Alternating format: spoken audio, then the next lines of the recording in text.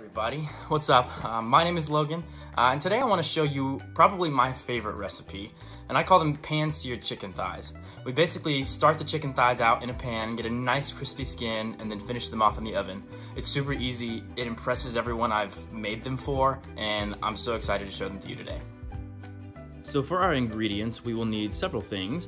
First, we have just regular salt, I also will be using kosher salt. Um, it's my favorite type. I'll tell you why we have both a little later. Um, fresh ground black pepper is always great. I also like chili powder and garlic powder on my chicken, but you feel free to use whatever spices you like. Um, and of course, we will also need oil. So one of the things I like to do when I'm making a dish like this with oil on the stove top um, is to wear an apron. I think it helps me keep my clothes from getting stained, and ultimately, I think it looks real cute. Not really, um, it doesn't look good, but I think it's good for my clothes.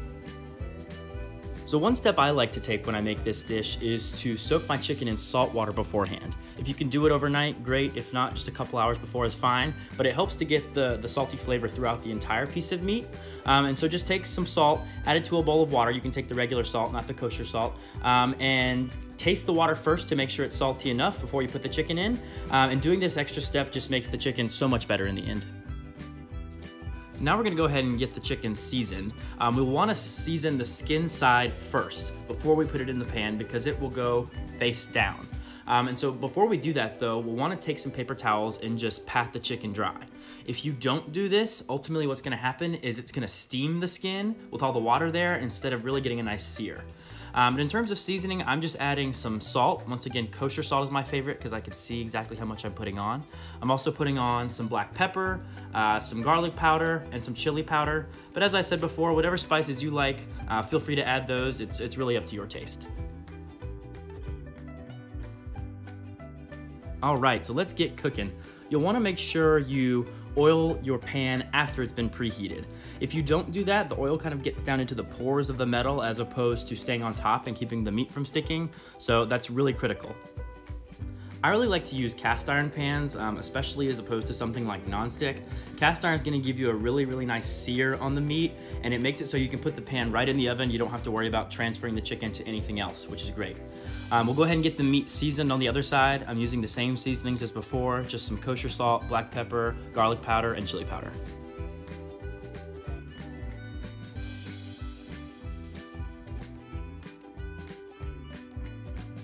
All right, so we're just gonna let the meat go for a few minutes over medium heat.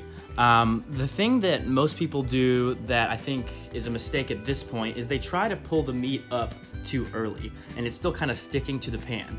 The meat will let you know when it's ready to flip because it will release really, really easily. So don't try to turn it before it's ready. It looks like ours is about ready to flip over, so I'm gonna go ahead and do that. Um, I love the color of the skin on the other side. It's just starting to brown.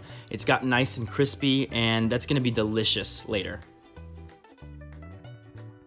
Now that the chicken's been flipped into a 400 degree oven it goes, it's gonna cook for about 25 minutes in here. We wanna give it enough time to cook all the way through um, to the point where it's still juicy but not too dry. After about 25 minutes has passed, we can go ahead and check the chicken to see if it's finished. To me, the easiest way to do that is just to grab a meat thermometer and see if it's reached 165 degrees. As soon as it does, you can go ahead and pull it out and it'll keep the chicken nice and juicy.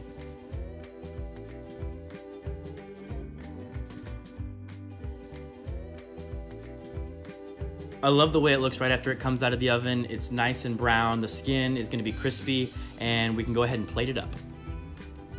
I like to put my chicken on a plate with a paper towel as soon as it comes out, just to soak up some of the extra grease. But after a few minutes, you'll wanna go ahead and take it off just so the chicken doesn't sit in a grease-covered paper towel for too long.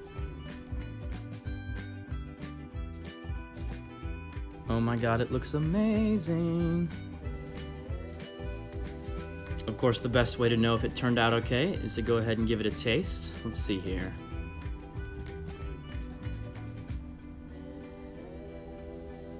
So good.